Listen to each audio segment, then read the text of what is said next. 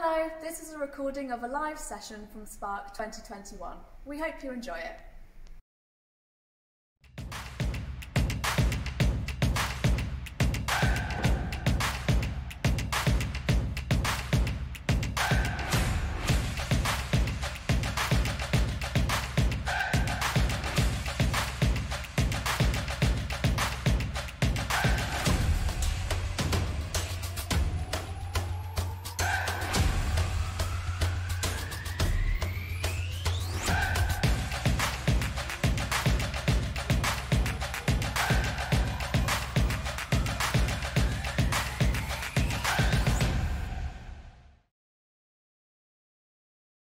Good morning and welcome to the fifth and final day of Spark Ignite 2021.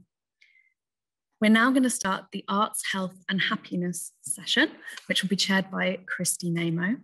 We're hopefully going to have chance for a Q&A at the end of this session, so please post any questions or comments in the chat on Hoover. Over to you, Kristie. Thank you, Bronwyn. And welcome everybody to this Spark session on arts, health and happiness. As Bronwyn said, my name's Kristie Naimo. I'm Director of ARC, Achieving Results in Communities. I think I've been referring to this session as Arts for Health and Happiness, which I think a lot of us will agree is actually the case. We all know the benefit of the arts on our health and well-being, particularly this past year, whether it be making or creating, participating, or watching and listening. So today we're very privileged to have a number of speakers representing some of the fantastic organisations who are working across Warwick District on arts and health related projects. We're fortunate actually to have such a wealth of creativity within the district and I'm really looking forward to hearing more from some of our speakers about their work. So first of all, we will have an overview from Claire Hickey, who is Arts Officer for Heritage and Culture at Warwickshire County Council. Uh, she's also involved in the Creative Health Alliance, which I know a number of our other speakers are also. Then we'll hear from two creative community organisations, Jenny Davis from Arts Uplift, who work on arts, health and heritage projects, and then Karen Williams from Escape Arts, who also work on community health arts projects. Then I will have an opportunity to talk a little bit about the work that we do at ARC on arts and nature. And finally, we'll hear from Dionne Sambrook from Live and Local, an organisation working across the Midlands, connecting artists and venues. As Bronwyn mentioned, during the sessions, you're welcome to put questions in the chat. And at the end of all of the speakers, we'll hopefully have some time to ask some of those questions. But I would just say if your question doesn't get answered during the session, uh, or you feel it hasn't been answered, or we run out of time, please use the Hoover app uh, or contact some of the speakers directly. Um, after all, that's what this event is about, a chance to network, to learn and be inspired. So without further ado, I'd like to hand over to Claire Hickey, Arts Officer for Heritage and Culture at Warwickshire County Council. Thanks, Kristie. And hello, everybody. So I've got a question to begin with. Do the arts make us healthier and happier? Speaking from personal experience, I would say yes. Uh, as well as being the arts officer for Heritage and Culture Warwickshire and sitting on the Coventry and Warwickshire Creative Health Alliance, I'm also a practicing artist and arts facilitator. And over many years, I've both improved my well-being by creating art, whether that's sculpting with clay or singing with friends. Um, and I've also seen the benefits that art brings to participants' own health and the joy that it brings them to create something all by themselves, whatever their age. However, the connections between the creative process of art making and personal happiness have been known both anecdotally and academically for quite some time. An article published in 1996 in Psychology Today by Robert Epstein noted that greater creativity breeds greater happiness. The creative process is itself a source of joy for most people. And with new creative powers, we're also better able to solve the little problems that beset us daily. There have also been studies into the neurological effects of art making and art viewing. Recent research from Semir Zeki at the University of London connects the viewings of art with an increase in dopamine, the chemical messenger that plays an important role in the feelings of pleasure within the brain's frontal cortex. These positive sensations are almost immediate when viewing an enjoyable or emotive piece of artwork and are similar to the feelings of romantic love. When making art, we can get drawn into a state of flow where a person is completely immersed in an activity that makes them almost oblivious to the outside world. If you've seen the recent Disney film Soul, there's a wonderful part where the main character Joe goes to this trance like place where nothing else matters but the music he's playing on the piano. And I encourage you to watch it, even though it's a kids' film, because it's got some great life lessons in it. The concept of flow points to two happiness factors that have enhanced human life for thousands of years via the arts. One is the capacity to find joy in creativity through the pleasure of invention and exploration. This is based in evolutionary biology to ensure survival of individuals and communities through innovation after all, we are tool makers. The other is the ability to get pleasure and relaxation from creating useful or aesthetic objects, and therefore have some time out to switch off and recuperate from life's stresses. Over recent years, there's been a growing understanding of the impact that taking part in the arts can have on health and well-being where well-being encompasses happiness as one of a number of positive emotions that enable us to feel good and to function well. By supplementing medicine and care, the arts can improve the health and well-being of people who experience mental or physical health problems. And engaging in the arts can also build community resilience, develop social networks, and strengthen a sense of connection with a place. A turning point was in 2017 when an all-party parliamentary group published Creative Health, the Arts for Health and Wellbeing report, which concluded that the arts can help keep us well, aid our recovery and support longer lives better lived, and also help meet major challenges facing health and social care, such as aging, long-term conditions, loneliness, and mental health. Now, across the country, there's been a groundswell of projects and programs that have developed both in response to this and by building on the work that have already been happening for many years. But now this totemic inquiry sort of backs up what we've known all along. Since there's been other reports, such as the DCMS Evidence Summary Policy in 2020 on the role of art in improving health and well-being. And there's also a National Cultural Health and Wellbeing Alliance, which was formed to represent everyone who believes that creativity and cultural engagement can transform our health and well-being. Closer to home in 2019, the Coventry and Warwickshire Creative Health Alliance was formed to improve the availability and promotion of arts and cultural activities specifically designed to impact upon health and well-being in the region. The group is made up of a range of local stakeholders, including local health professionals from public health, NHS and hospital trusts, as well as representatives from the local creative and cultural sector who have a track record in developing work with health and well-being outcomes. The Alliance has several objectives and shared priorities, and we seek to strengthen links between the two sectors, whether this is through commissioning approaches and funding opportunities, developing a common language or through promotional campaigns, sharing best practice and developing an evidence base, engaging people with creative activities to support their well-being, recovery, and to engage in physical activity, and also build resilience, and most of all, to raise the profile of arts and health activity amongst the wider sectors so more people recognise the value of the arts. In Warwickshire, we know there have been rising recorded rates of depression and anxiety among adults for some time, and we have higher than average suicide rates. For children and young people, there are growing concerns about their mental health and well-being, with rising self-harm rates and limited capacity of specialist mental health services. In addition, we know population mental health will have been severely impacted by the COVID 19 pandemic. For children and young people, issues relating to uncertainty about the future, loneliness, lack of peer support, and loss of coping mechanisms have been key drivers of this and will be uh, similarly felt across the adult population too. However, we won't know for a significant period of time what the true extent of the pandemic will be and its impact on mental health. What we do know is that for many, the arts have been a ray of light in this dark time. From painting our windows to knitting rainbows, dancing in the kitchen or singing over Zoom, streaming the National Theatre on our laptops or taking part in Grayson's Art Club, the arts make us feel better and they make us happy. The arts are needed more than ever. So I want to leave you two things, a question and a quote. The question for you to go away with and ponder in your own life is what brings you joy?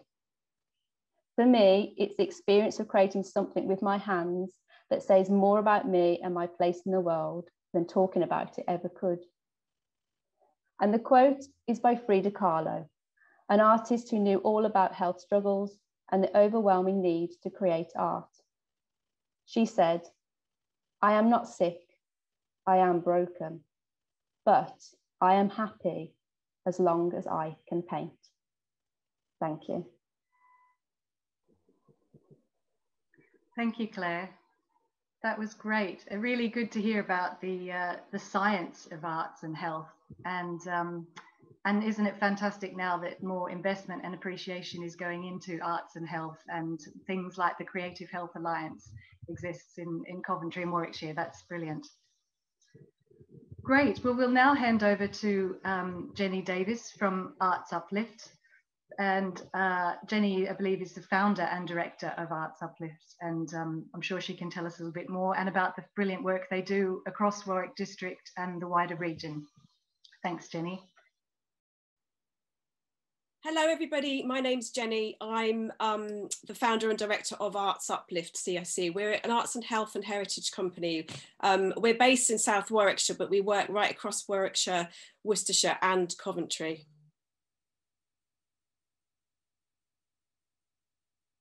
Um, I wanted to just talk a little bit about some of the lockdown um, projects that we've been doing, just as an overview, and then I'm going to focus on one project particularly in a minute. So back in um, kind of March, I guess I had all these projects lined up and they were all face to face, and then suddenly COVID hit, and it was a bit of a oh my goodness, what on earth are we going to do? So I was like, right, everything has to be postponed. We'll be back in July, you know, it'll be fine. So, of course, um, then things were kind of continuing. So I just got right. We have to re completely rethink everything I'm doing or we're doing. So um, signed up to Zoom. Never heard of Zoom before, and it became my friend and sometimes my enemy when it's not going very well. But um, we have been doing some amazing work. We've um, from May we set up a virtual choir, so all our work with older people and people living with dementia went onto Zoom. And actually, that was only funded up for about ten weeks, but actually we're continuing because the people that are, are coming, it's, it's an absolute lifeline for them. So we've just thought, right, we're just going to keep carrying on with that one. Our Love Music monthly sessions that we were delivering in Bromsgrove again went onto Zoom. Um, some of the musicians recorded their um, work as well. So we have, we've now got a Vimeo account, never had one of those before as well. Um, so it's brilliant because a lot more people can kind of see the work that we're doing. But what we missed was the interaction with the people. So we decided to put it onto Zoom. So we're now currently running our Love, Love Music monthly sessions on Zoom. So we can get that feedback from people, which is, which is really important for everybody. Um, we um, have also done our Suitcase Stories project, which is an arts and health reminiscence project for people living with dementia we got some Arts Council fund funds back in May, um, and that we ended up doing a an R and D on the songs and the um, the stories that were created from that project, and we did a, a research and development with actors on Zoom, and we created a uh, we've got a, now got a draft kind of script of that um, of that story um, and we did a kind of online kind of sharing of the of the performance as well. And so we got feedback from people. So we fed that into another draft of the script. Fingers crossed we hope to perform it in um, in Worcestershire in May 2022 still got to find all the money first but um, it's looking it's looking good and hopeful. Um, we also our suitcase stories project we normally deliver it face to face. Um, that's both in Warwickshire and in Worcestershire are both running online at the moment through Zoom. Um, we photographed the handling objects that we normally use, um, and we've been doing presentations or we've been doing live um, sessions with, with them. Um, two seconds.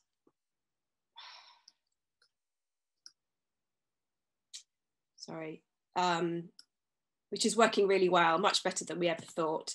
Um, and from Warwickshire County Council, we've been funded to deliver two um, arts resources so we can send it to people's homes because obviously not everybody can access um, Zoom and being online.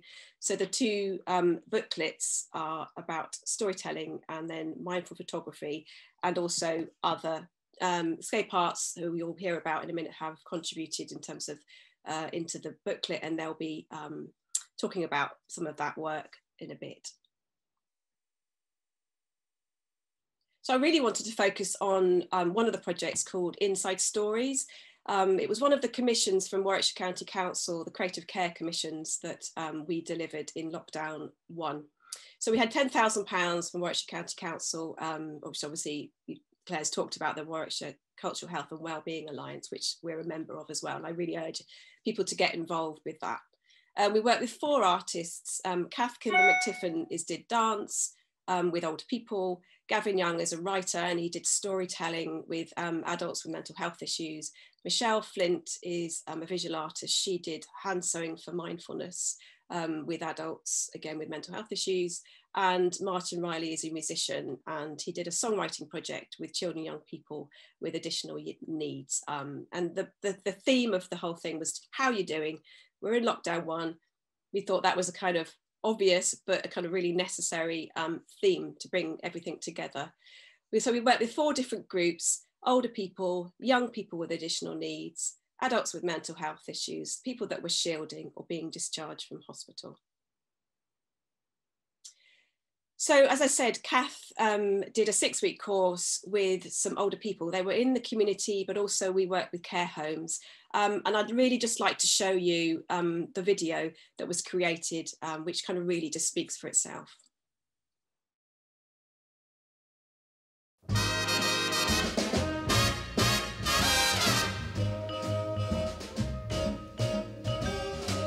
You make me feel so young you make me feel so spring has sprung.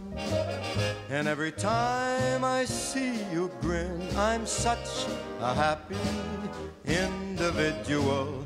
The moment that you speak, I wanna go play hide and seek. I wanna go and bounce the moon just like a toy balloon. You and I are just like a couple of tots running across a meadow, picking up lots of forget me nots.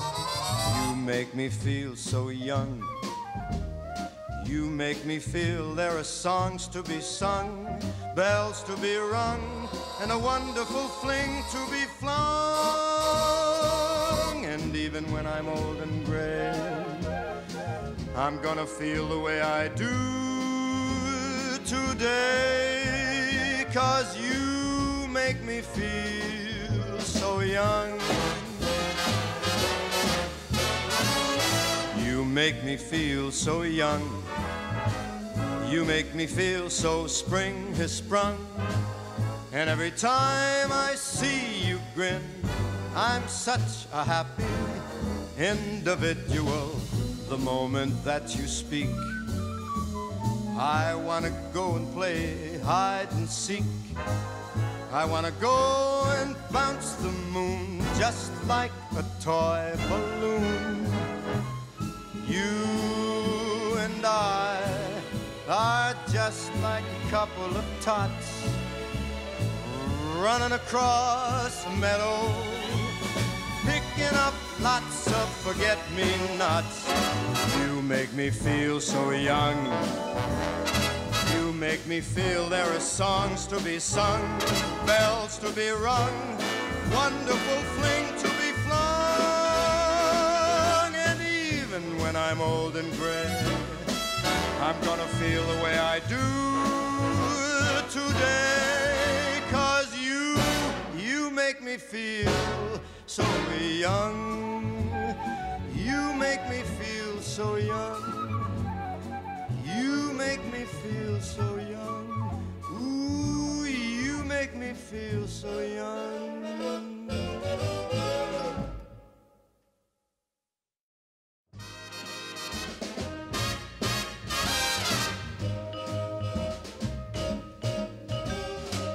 You make me feel so young. You make me feel so spring. And um, I hope you enjoyed that. It really puts a smile on my face when I see this video, and that's a response people have said to me when they've seen they've seen it. It's just really made them smile, and it kind of really um, demonstrates the the joy and the, the happiness that that project, that particular group, um, experienced. So moving on then, um, so Michelle Flint did Hand Sewing for Mindfulness, um, this was an eight week project, um, uh, just 40 minutes on Zoom, but she also did a, quite a lot of resources that people could, we emailed out to people so they had um, information that, that, they could work on in the week and sort of backed up some of the Zoom sessions. And we also worked with people offline as well, so people could, had emailed that, emailed that information. So the kind of the gist of this project was that each week was like a diary. So each week, uh, Michelle talked about a different theme and a different stitch. Um, so they learned about different stitches, but also um, explored um, uh, their own feelings and were put, they were put, being put them in, into their sewing. So things like one theme, some of the themes were shapes, flowers. One week was I'm thankful for, so based on the kind of gratitude um, experiences and um, opportunities we can you can work on. Um, acts of kindness, letting your mind wander, so being just kind of really free in, in your creativity. Um, we also tried to link it into the other groups. So we she used some of the song lyrics um, that on the, the, song writers were coming up with and added them in. So each week, as I said, was a different theme and a different stitch. And then the last week was just basically what, you know, what was your favorite stitch and what did you want to do? So then they were posted out to Michelle and she stitched them all together and they made these wonderful wall hangings um, which are actually in the Royal Priors shopping centre as we speak. I never got back to um, actually go and collect them because of lockdown, but um, I'm hoping they might give me another month so um, you, people can go and see them. But they are in there and they're, they're fantastic. Um, so moving on then, we also did songwriting with, uh, with um, young people with additional needs. And we worked in partnership with Entrust Care Partnership, who work tirelessly and wonderfully with um, families with children with additional needs. Um, and this was, a, again, a brilliant project. And I'd just like you to hear basically every single participant um, contributed to the song and Martin did an am amazing job of getting every single person, whether it was just um, a word, a, what somebody just did some drums, um, somebody was singing from, from a very, very small contribution to a large contribution, he got it into this song. I'd just like you to hear a little bit of this now.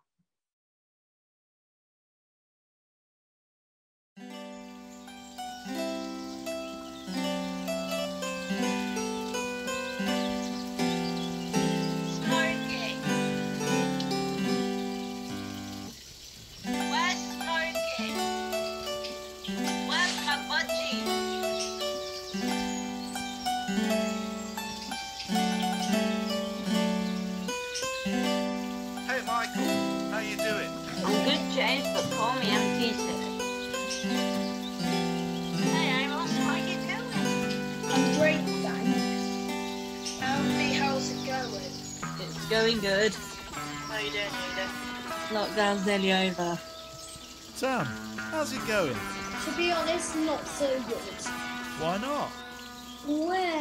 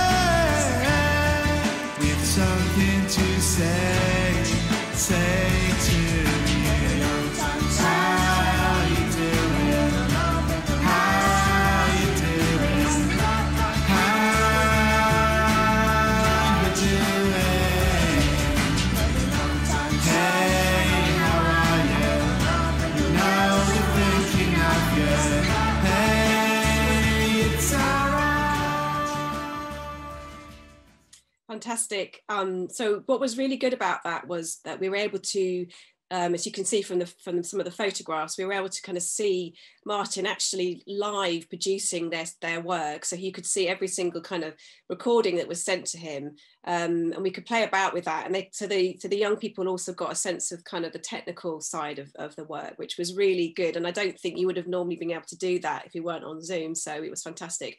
It didn't work for, for every young person. I think it was one person that just didn't quite suit but um, you know, for, for majority of the group, it, it did work, and, and, we were able to kind of really capture something um, really, really good, I think. And, and urge, it's quite a long song. I'd urge you to go to the website and have a listen to. There's lots and lots of bits and sections of that of that piece of music.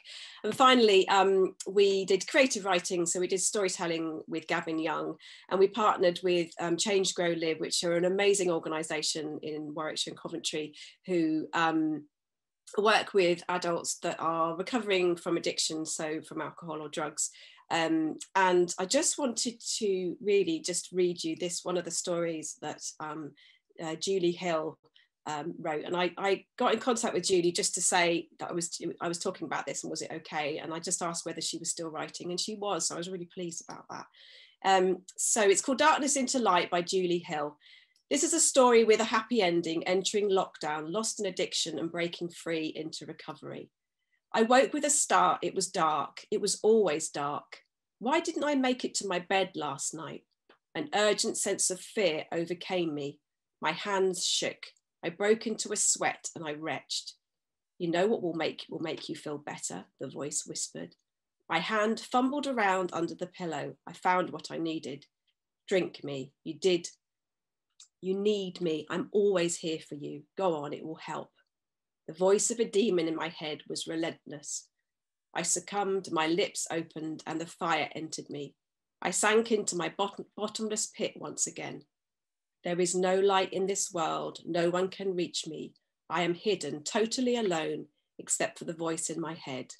I cannot live this life. I just want to sleep, for it all to go away. Please help me, I cried out. My voice echoed. Nobody came. I opened one eye. Something felt different. I sensed a different energy. I forced myself up. My body felt weak, but an overwhelming feeling swept over me. I told myself nobody's coming. I found I, I have to find the strength to escape this torture. My feet touched the ground. I had made my first step. I just thought that was wonderful, and we had um, a sharing of the of the stories. Everyone read their stories at the end of the six weeks, and there was a lady that just didn't write a thing. She just, you know, she was engaged and she was coming, but she just didn't write anything. I think she had dyslexia, so I think she had some nervousness about that. But my goodness, when she shared her story, she just did it orally, and she blew us away. Um, but it's, it's all on an e an ebook, so again, it's on the website if you want to see more of their work. But it was just uh, just wonderful.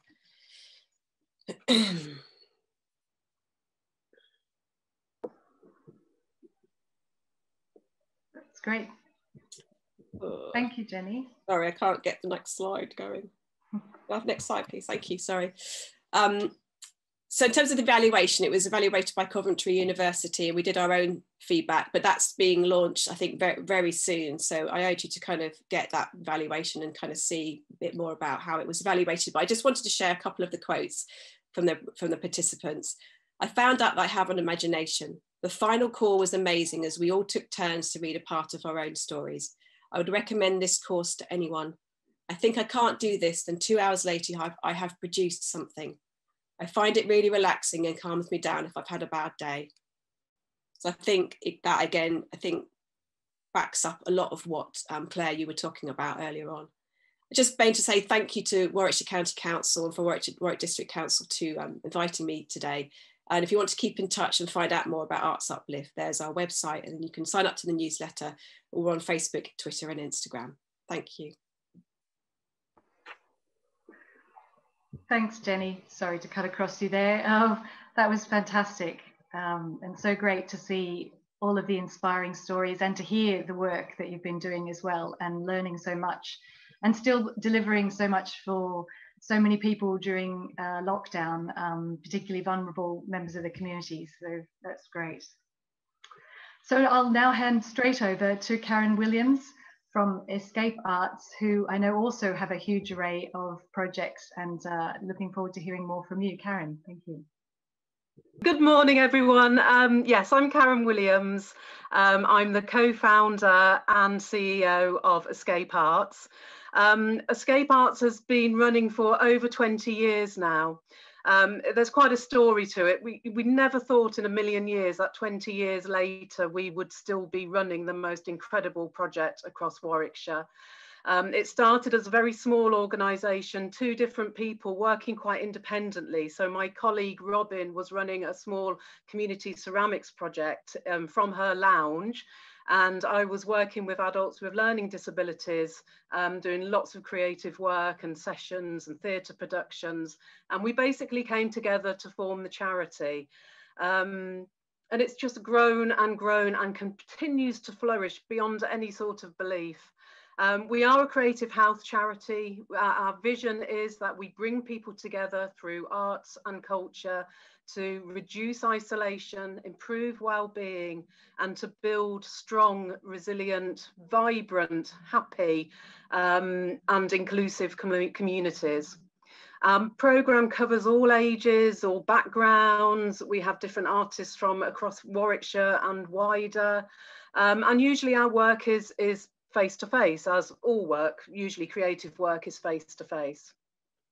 For us, well-being has always been at the heart of what we do. It underpins our core strategy, um, and part of that well-being is really responding to local need and lived experience. So that's really important to us, and everything we do is driven by that lived experience. Um, so yeah, so that's really good. Okay. Sorry, my mum's trying to phone me on my mobile. I love technology.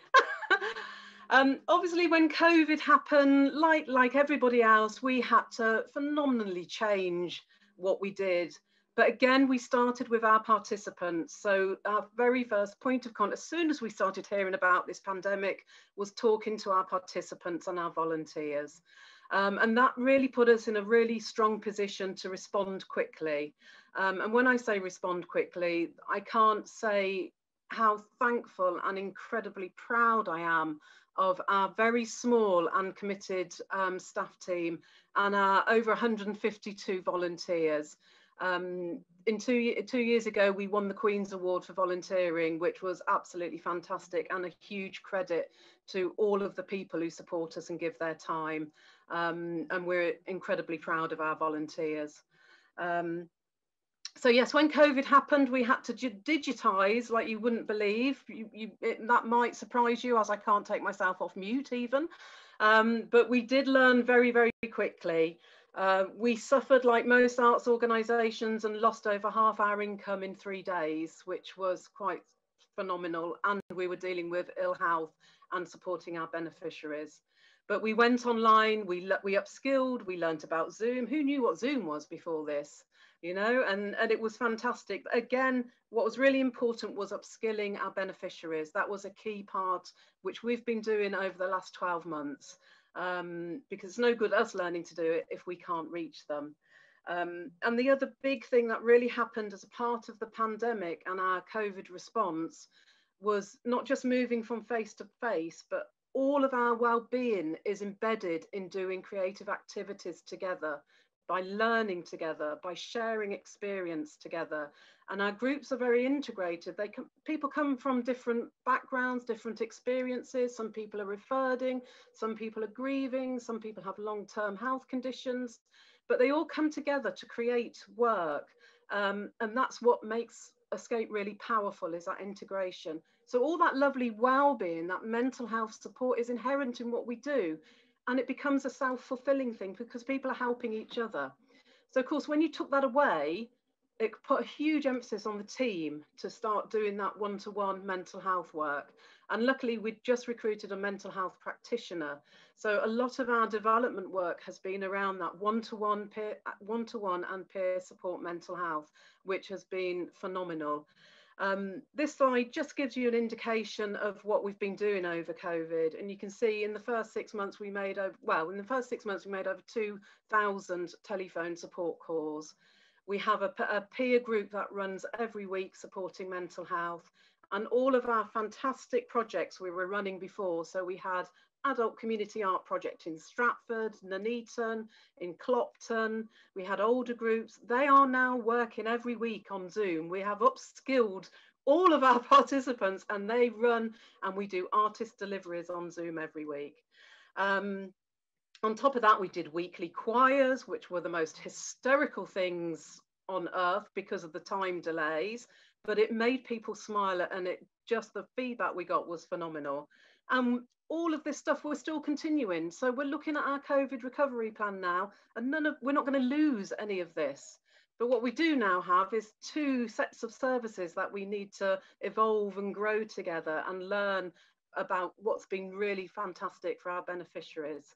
And again, we keep talking to them. So we've undertaken consultation with our beneficiaries. So that keeps going and they completely drive our mission and our ethos and our activities moving forward. Alongside all the all the kind of normal stuff we were doing, I say normal, I don't know if anything's normal anymore, but we did big community art projects. So we have a big shop front in Debenhams in Stratford, and we did, you know, again, it was about how do we engage people. And we were working with schools, community groups, all sorts of different people to develop huge installations, creative installations. So for remembrance, we had an installation of over 3,000 poppies across the shop fronts. And again, over 3,000 contributors, you know, coming into town, looking at the work and really feeling some ownership. And we did lots of work around um, VE Day, VE Day, um, all of that kind of remembrance work lots of competitions to keep people engaged and doing lots of different things to reach lots of different audiences, which is what we kind of do all the time, but it, it just magnified. Um, we're part of the Creative Health Alliance and we were funded like Jenny with her wonderful project to do a COVID response project. Um, ours was called One Be Creative and we felt it was really important that we had a physical resource that went out to people. Um, it, you know, because everything had gone to online, a lot of our beneficiaries at that point weren't online. So this was a multi-page um, resource that went out through all of lots of different partners. So through P3, through St Basil's, through the hospices. And what was crucial, it was developed by an artist, Ali Allen, and an artist and NHS nurse, Kirsty Brewerton. Now, again, this is really important because this work also went through George Eliot Hospital and Warwick Hospital with COVID patients, with staff, with volunteers who were firefighting probably more than anyone else. So again, having Kirsty on board to lead that engagement was really, really important to us. Um, our clinical work is, is so important to us. We're and it leads to lots of other things. So we have a growing public art portfolio. So we're doing some amazing work at Warwick Hospital. We're working with the Manor Hospital in um, Nuneaton with our artist Spencer Jenkins. Um, we're doing Stratford Mental Health Hospital. We're doing work there with Alicia Miller. Uh, Nuneaton train station. We're doing things around um, kind of safety on the lines and suicide prevention. So really key pieces of clinical work that we're now developing into public art practice. So the legacy of those pieces of work continue. Um, we're also working with Kirsty again, again, it's again responding to need that, you know, where's the creative work with NHS staff and carers and those people who are really firefighting on the front line? Um, we couldn't see any. So again, we're developing a piece of work with Kirsty called Care to Create, um, which is specifically around creative writing, journaling for those NHS and healthcare workers. And it's coming from somebody with lived experience on the front line. So that's really exciting. And again, another physical resource which grew out of this one project were our creative journal impacts. So again, we were funded by Warwickshire County Council um, to develop these packs for clinically extremely vulnerable people. And we're up to about 150 packs that we've sent out now. So there's a need and it's working and the feedback we're getting back is really positive. Um, I'm going to hand over to my deputy now, Niamh, who's been leading on supporting talent, which is a fantastic uh, creative leadership and employment skills training programme. I hope this works, Niamh. You're on mute, just so I can warn you so you don't do what I did. Excellent. Hi, everybody. Um, my name's Niamh Oldham, and I'm the Deputy CEO for Escape Arts and also the project lead on the Supporting Talent programme. Um, Supporting Talent is effectively a creative CV building course um, that aims to bring people who aren't in employment, education, or training back in. Um, it's a fantastic six month project that's funded by the European Social Fund. Um, the first four months are sort of focused on the participants getting to experience and do creative workshops in a whole range of different skills with a creative creative mentors, um, such as filmmaking, script writing, illustration, music, art, you name it, we do it. Um, and the following two months are focused on developing a group collaborative project, um, which is a film working with a local filmmaker called Jay Langdell, um, where they will all have a different creative leadership role, hopefully that's based on one of the skills that they've learned and enjoyed during the first four months of the project.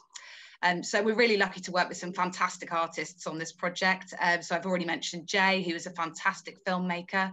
Um, we're also working with, on the current round of the project, Greg McLeod of the BAFTA award-winning Brothers McLeod, who's going to be doing some animation, illustration and script writing workshops with the group. Um, we're also really delighted to be working with our fantastic patrons, um, actors David Bradley and Kate Fleetwood and director Rupert Goold, who are supporting this project as well. Um, this is the second round of the project that we're running at the moment where we're working with these artists. So really, really excited. There's still places available. It's just started. Um, so if anybody would like to get involved, please visit our website after the presentation.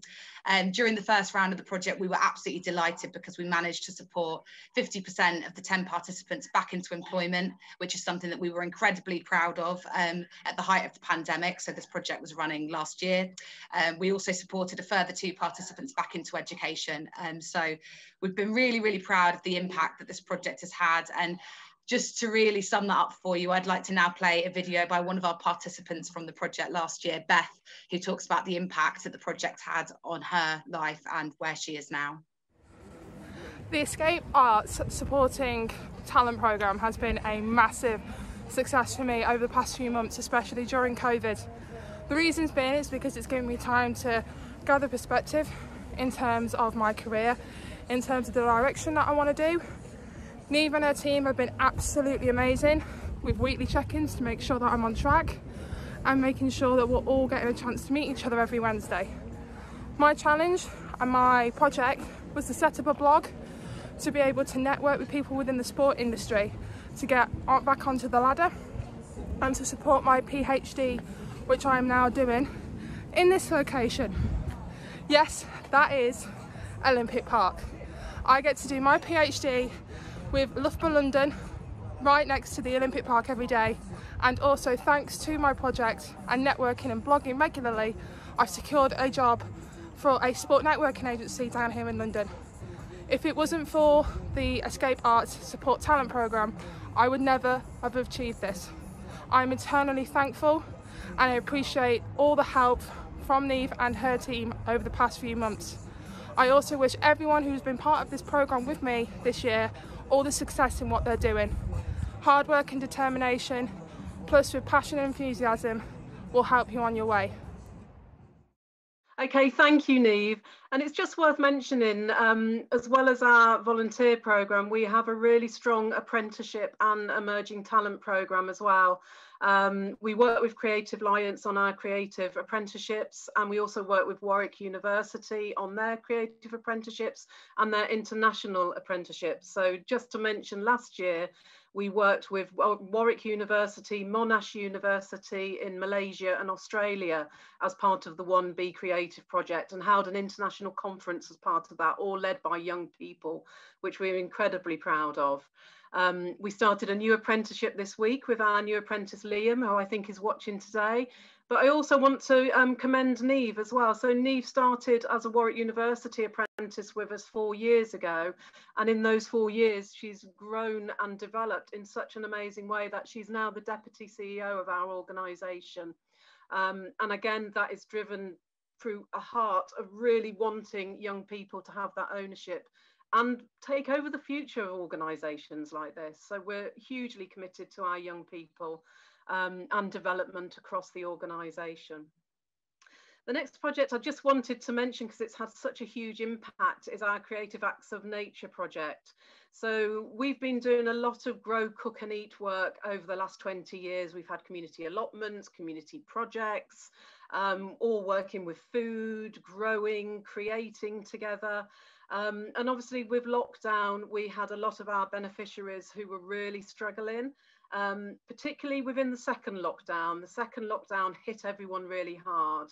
Um, we'd had two very tragic, any bereavement is tragic, but we had two very close together. And as a staff team and a beneficiary team, everybody was struggling. So again, this was done off the off the back foot really, and it was just a way to try and get just keep people engaged, keep people's moods lifted, and to encourage that outdoor exploration. So we did for the second lockdown 30 days of creative acts of nature challenges and it was so well received. It's now a digital book. So all of these slides are part of our digital newsletter, which you can download on our, uh, uh, our Spark page. Um, but they're really fantastic. All these resources are free. Um, you, anybody can use them. They're for all ages. Um, the particular favourite one was the um, self-portraits in nature. We had some hysterical ones here. And again, we were sharing this. We, we developed a community virtual garden because our garden project at Lifeways had to stop. Um, so again, we've got all this lovely sharing of information, of tips, what people are doing. And even people who haven't got gardens were like posting pictures of their walks. So it was really impactful.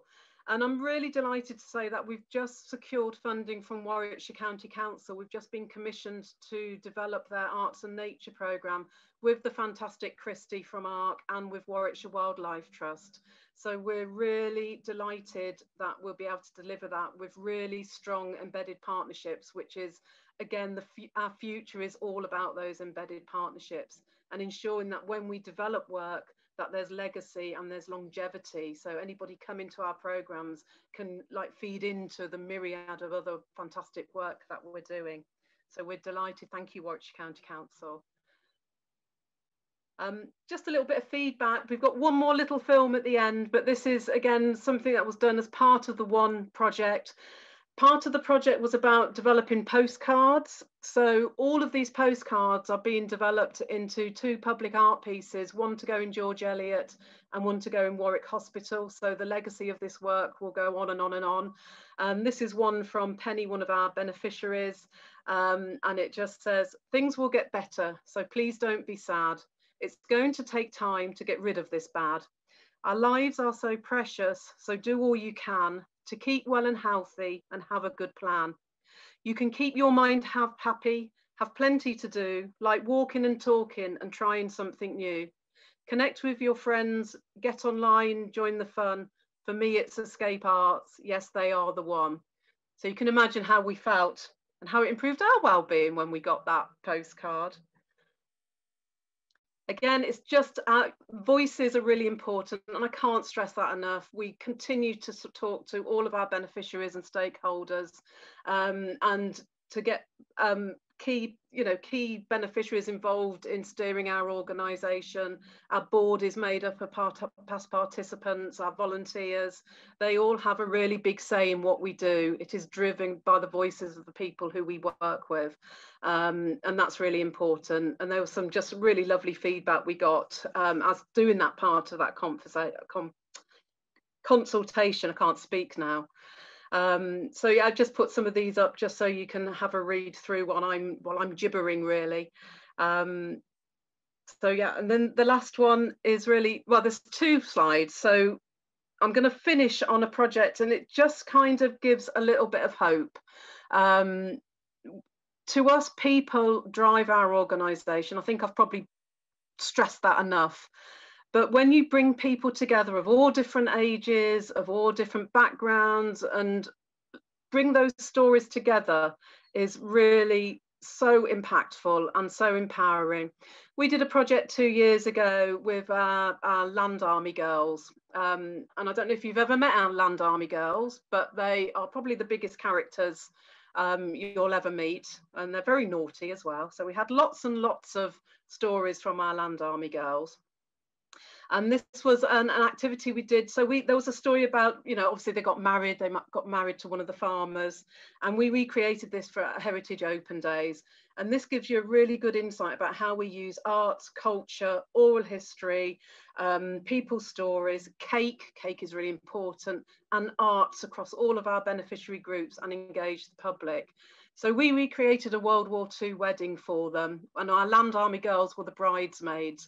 And this video just gives a little bit of hope about what's coming this year, really, because this will come back. We will be bringing people back together um, and we will be continuing to build those strong resilience post COVID 19 communities. But they'll be even better because our reach is even wider now.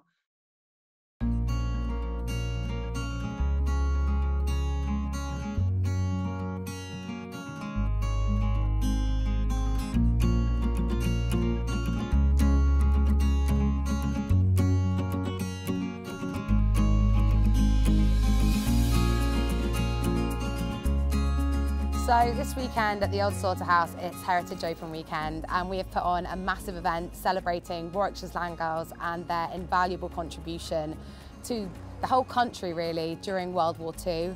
We've been lucky enough to have eight land girls come down for this very special event today. We've had a reenactment wedding complete with a beautiful dress put together by our Stitch group with lots of quotes and embroidered pictures based on the stories of our real land girls. We've got another performance coming up today by Second Thoughts who are doing the Forgotten Army based on conversations with real land girls and it's just been such a special day and so many members of the public have got involved and it's been wonderful.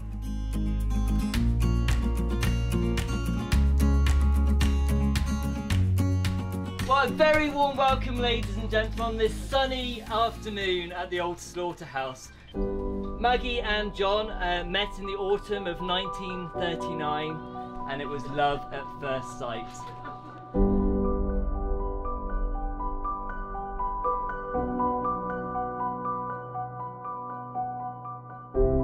Well, I joined in 1949, uh, 42 and I carried on. The, the, we finished in 1945, and I carried on till 1949 till I got married. Oh wow! Yes, um, I was in the Ilmington mainly, you know.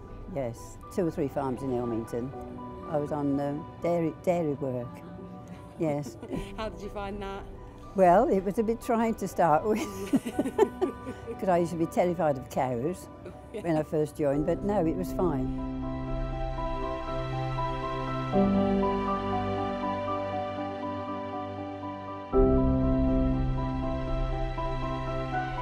let there be spaces in your togetherness, and let the winds of the heavens dance between you. Please repeat after me. I, Maggie, I, Maggie. take you, John, take you, John.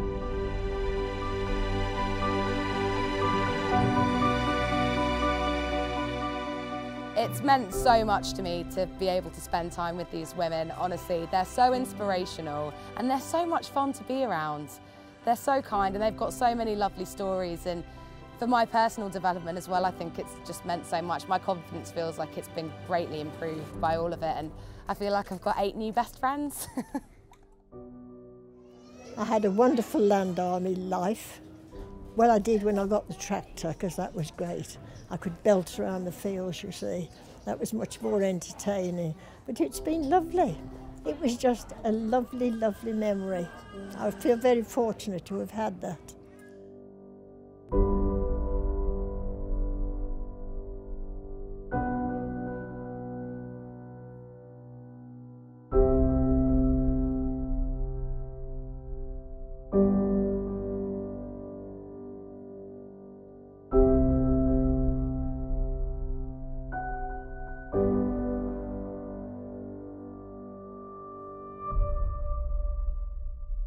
Think that just sums up arts, health, and happiness. Um, that's me. Just a quick plug. We are recruiting at the moment. If you'd like to come and work with us, we'd love to hear from you.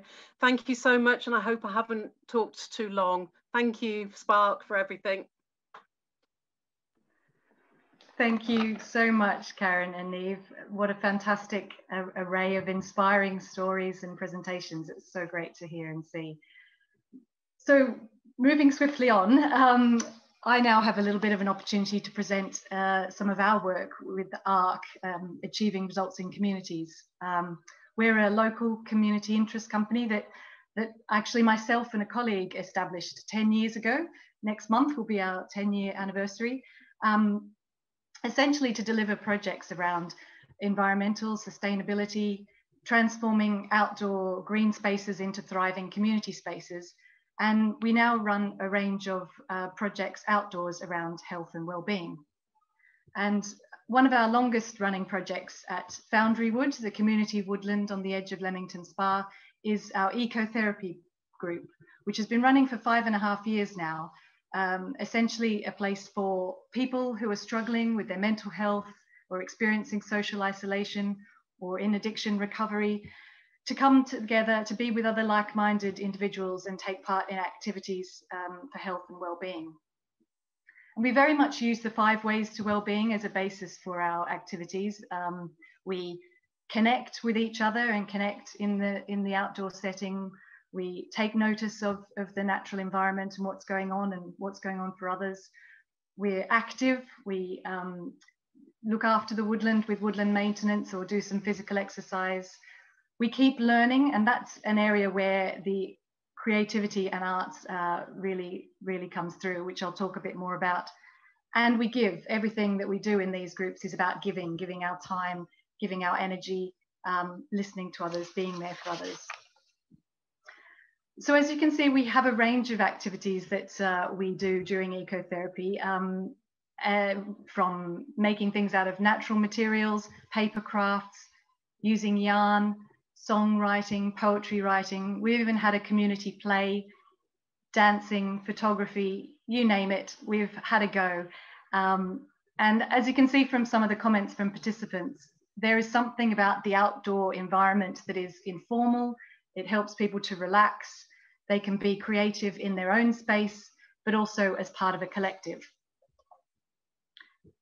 This is a bit of an example of a piece of artwork created using natural materials, a, a leaf mandala. Um, this shows the finished product, but really I should have shown photos of the participants adding each layer to the mandala. And we encourage people to collect items in their daily walks during the week and bring them to the ecotherapy session. And in that way, we help people to um, ensure the activity stayed with them during the week and not just in those couple of hours that they're with us.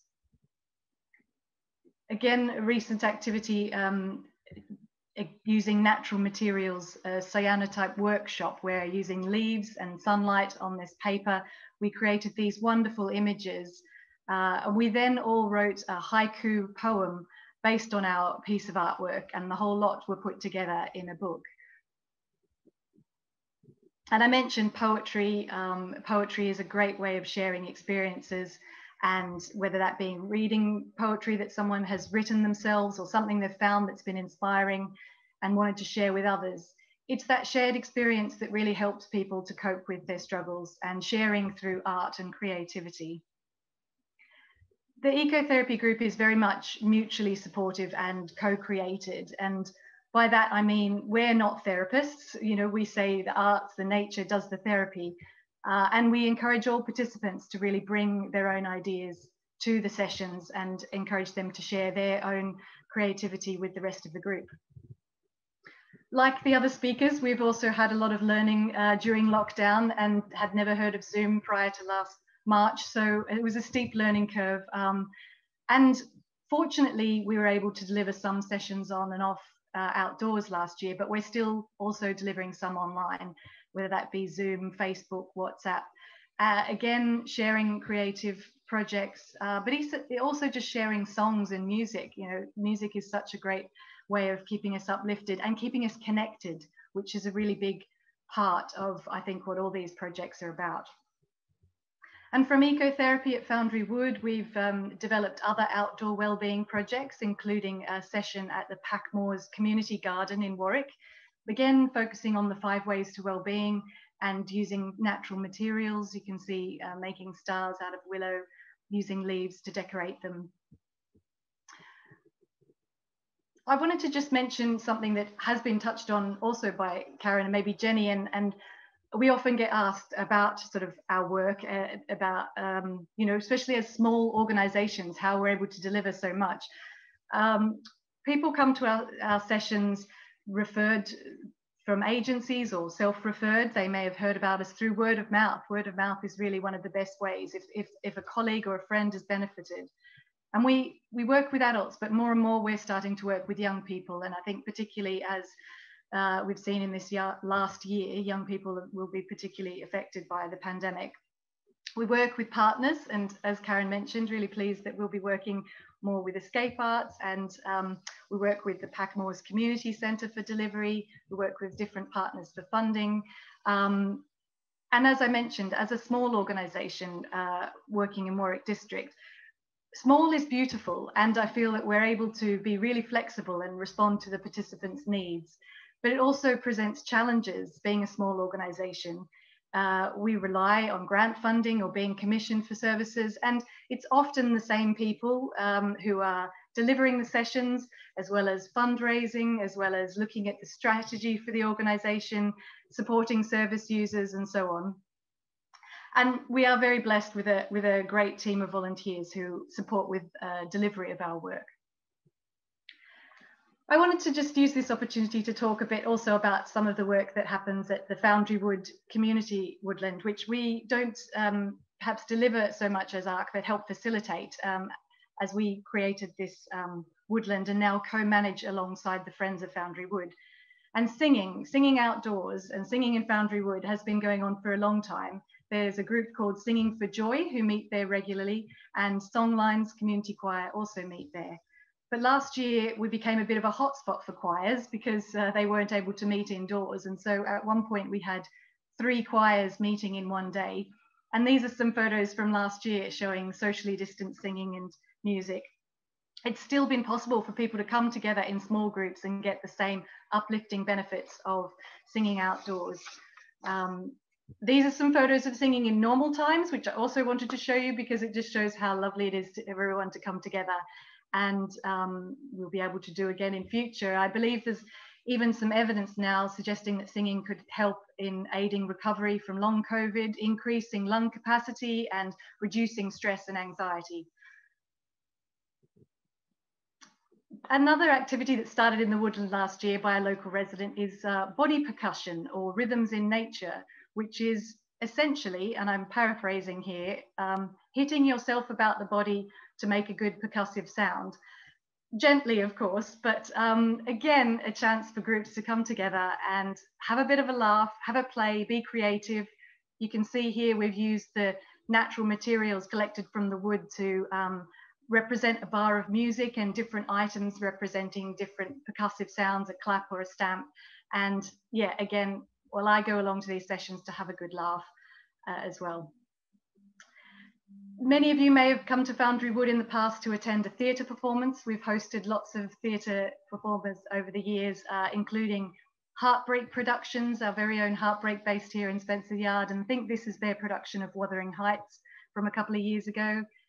Just look at that crowd. Won't it be lovely to have audiences like that again?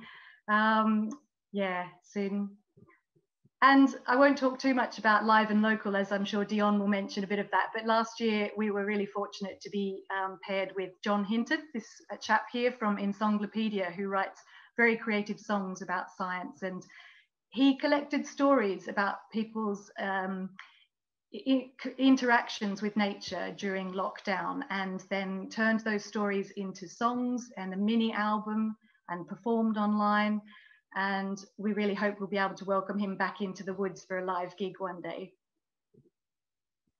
So there's lots to show and share, and I wanted to just give you a bit of an idea about what we do at ARC. It's not all about willow weaving and whittling wood. um, although we do a bit of that as well. And here's some making a, a hazel flower um, with a shave horse. The creativity of being outdoors is really limitless.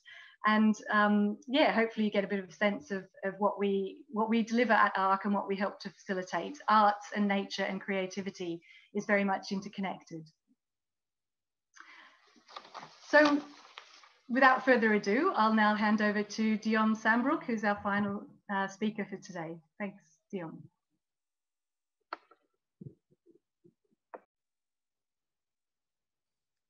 And thank you so much for having me on this um, session today. Uh, so uh, I'm Dionne from Live and Local and this morning I'm going to give you a quick brief introduction um, about Live and Local because I'm amazed that uh, we are quite a big arts organisation locally but loads of people haven't heard of us so I am going to introduce you to what we do um, and then I'm going to tell you more about an initiative we started last year and how that has impacted health and well-being in communities.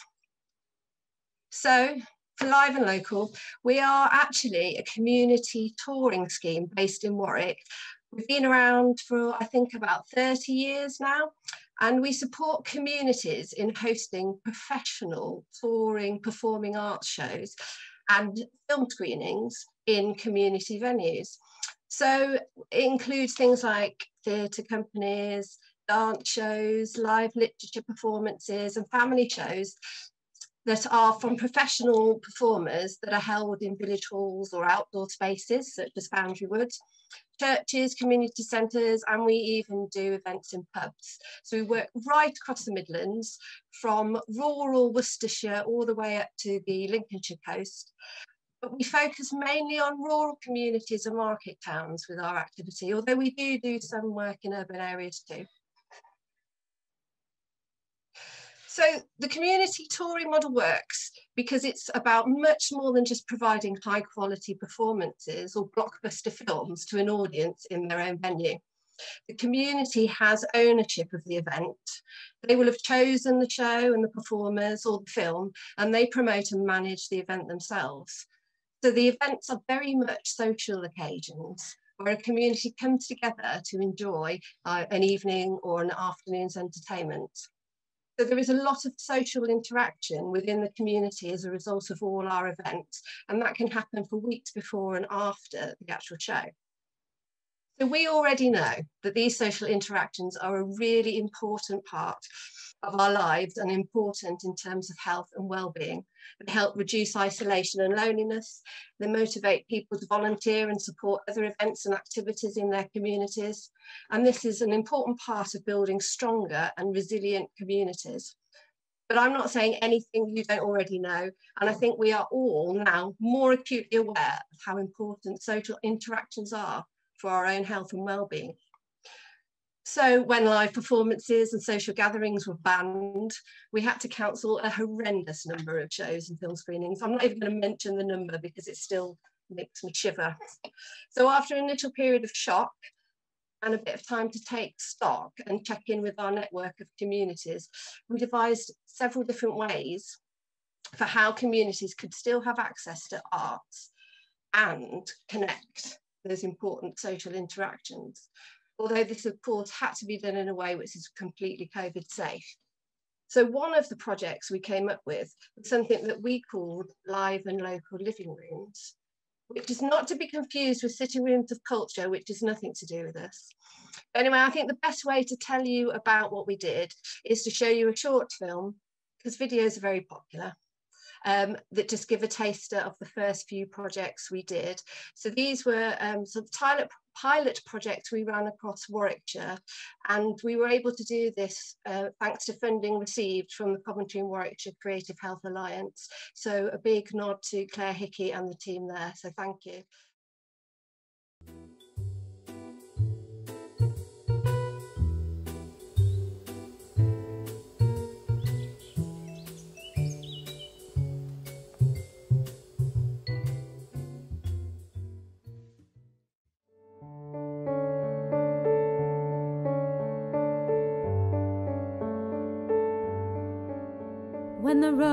Became silent one day back in March, we worked from home a child on our lap. Took pleasure in walking, flew kites and rode bikes, watched lambs become sheep, bats swooping and sailing red kites.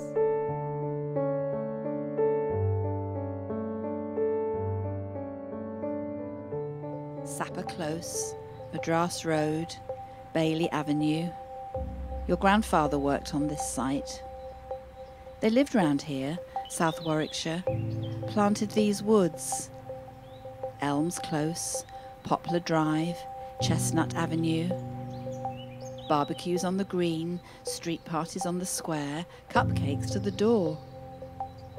A village in the Vale on a former army site. But there are still manoeuvres and battles to fight. Delente dertina Delet swagda Dele deylena Dele deylena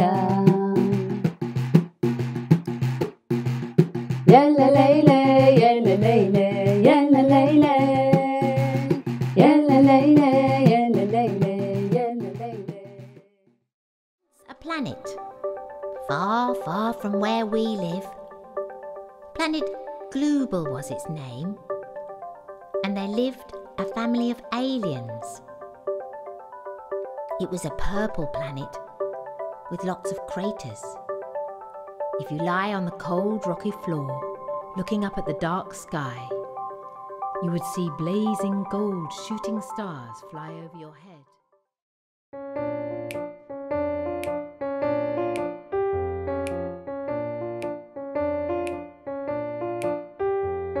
Who's new to Zoom? Who's glued to the news? Who's watching the briefing with a glass of wine? Stay home, save lives, take your daily exercise. Stay safe in these unprecedented times.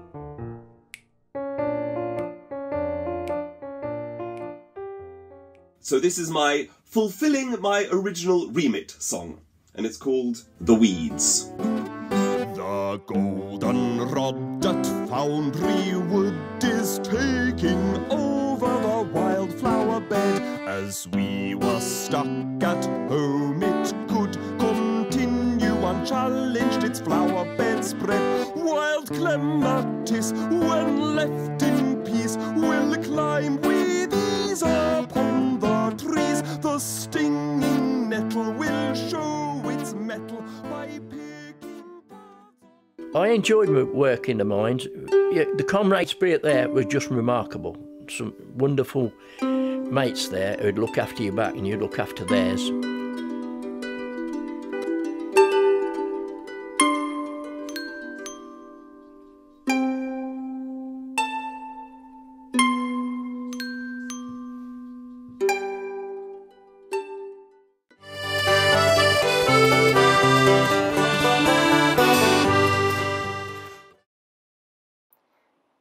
Was virtually midnight in the virtual museum. The exhibits were sleeping, dreaming their dreams, reliving past glories, revisiting memories, answering deep yearnings with the balm of the subconscious. What the heart longs for rises like the mist in the darkness of the night. We are Kenilworth. We are not just visits from virgin queens, not just abbeys or castle ruins. We are lions, community spirit. We are helping hands in times of hardship. The title is usually also the word that runs down the side of the poem.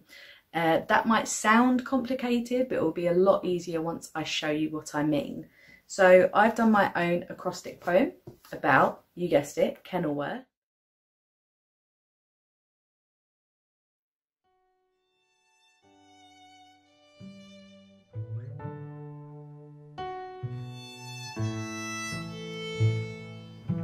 Wide open skies over Warwickshire fields show sunsets in all their glory.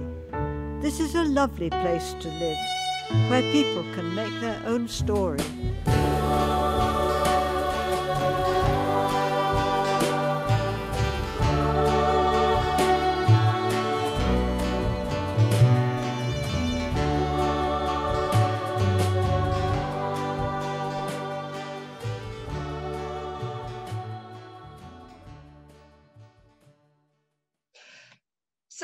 Hope you get a, a, a, taste for what that was all about. It was a really simple idea in that we paired a community group with a performing artist, and that performing artist was probably one of those that would have been working with us as part of the touring circuit, which had to be cancelled. And they, they worked together to collaborate and produce a new piece of work. The groups weren't always all formal groups, I mean the community groups. Um, some were just based around village communities or in the case of Kenilworth, it was the entire town. It was open to everybody to be involved in that project. So it, we kept it fairly simple, but there were a few, um, few requirements we imposed. One being that participation had to be open and very flexible and was free for anybody that wanted to be involved.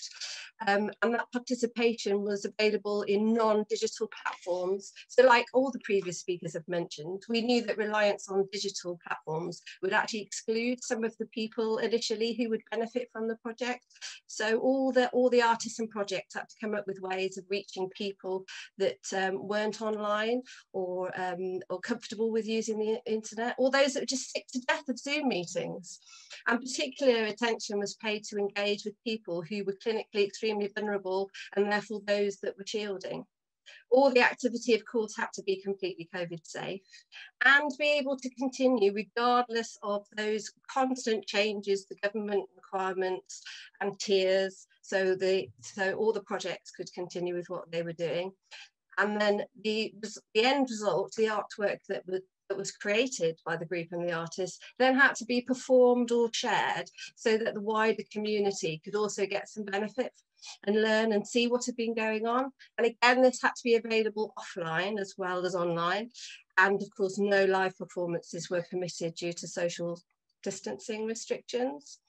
So the feedback we received was fantastic. We put a, little, a few, um, few quotes in the film there. Um, participants reported making new connections, learning new skills. They were encouraged to try new activities. Some wrote poetry for the first time. Some made films or recorded themselves singing. But um, I could go on and on, but I'll stop because we have a time limit. But the artists also reported a great experience. So not only did they have some paid work and were able to do something creative, they also told us that they had a steep learning curve of learning new skills and finding new ways of working.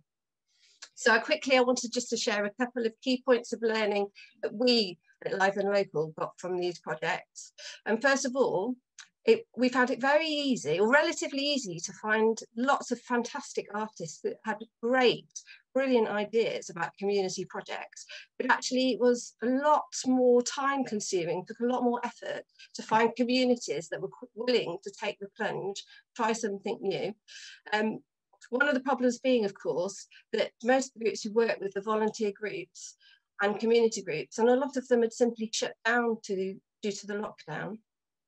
We found that flexibility was key and many of the projects that started with an idea that an artist had went in all sorts of random and wonderful directions.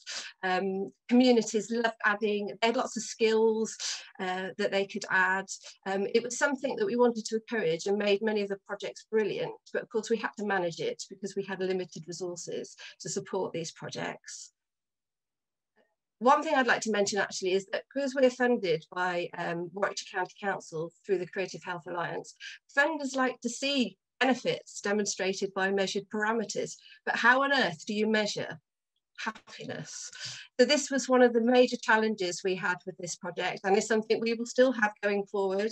Um, this project we use something called the happiness pulse um, and is being evaluated by uh, Coventry University as um, I, I, think it was Karen mentioned or Jenny. Uh, and we'll wait we're really looking forward to seeing the feedback from um, from their report when we when we get the detailed report. But um, yes if anybody knows how to measure happiness uh, do, do do let me know. Um, and also I wanted to mention that actually this project had huge and meaningful benefits to us as live and local. So we've developed relationships with new communities. The work that was produced has reached new audiences and a completely different demographic to that we usually get with rural touring. Some of the films that were made have been viewed thousands of times, which is huge in terms of rural touring audiences. And I have to say the simple fact that we as an arts organisation was able to work and support the creation of new artworks when so much of the arts industry had simply shut down was a major boost. So you know, that gave us plenty of happiness too. So I'm really pleased to say that Live and Local is continuing to pair up community groups with artists across the Midlands. We have dozens more of these projects going ahead. And in fact, this is now going to be a core activity. We will continue doing this because there have been so many benefits. So the main point of my talk is to encourage all creative and community groups to keep doing what you do. Don't let the pandemic stop you. We know the restrictions are going to be around for a while yet. And to answer Claire's question at the beginning of this presentation, yes, the arts do make us healthier and happier. We know this, so we just need to keep making art, keep doing it and sharing it. Live and Local is just an arts organisation. We aren't clinical experts. We don't consider ourselves specialists in health and well-being, but we do know that what we do has a huge and positive impact on health and well-being. So if you are creative, you already know that what you do makes people happy. So find ways to do it. And if you're part of a community group, and every single one of you here is part of some community, it's absolutely worth looking at ways to connect to each other. And even better if you can do something creative at the same time. Thank you. Wow, thank you, Dionne that was a brilliant presentation again and brilliantly said. Um, you're right, we can all be creating arts in all of our communities. Um, wow, what an inspiring morning. Uh, fantastic projects, ideas, uh, presentations, videos. Uh, as expected, we've uh, run out of time to have any live questions today, but um, please do uh, ask your questions in, in the chat and in the Hoover app, and uh, our speakers will do their best to come back and answer you in, in, some, um, in their own time. Um, I'd just like to thank all of you for giving up your time to present this morning, and uh, I hope everybody who's been watching uh, has enjoyed the presentation. Thank you for those at Spark for putting this together and inviting us all to speak today. Um, we really love talking about our work, as you can see. Uh, it makes us happy as well. Uh, and we know that arts um, is definitely there for our arts, uh, for our health and our happiness. Thanks, Bronwyn.